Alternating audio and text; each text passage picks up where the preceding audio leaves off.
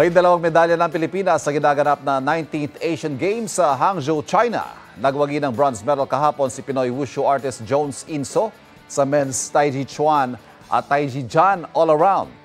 Ang pambato ng China nakakuha ng ginto habang silver naman para sa Hong Kong. Una nakakuha ng bronze medal ang taekwondo athlete na si Patrick King Perez noong linggo sa men's individual pumse.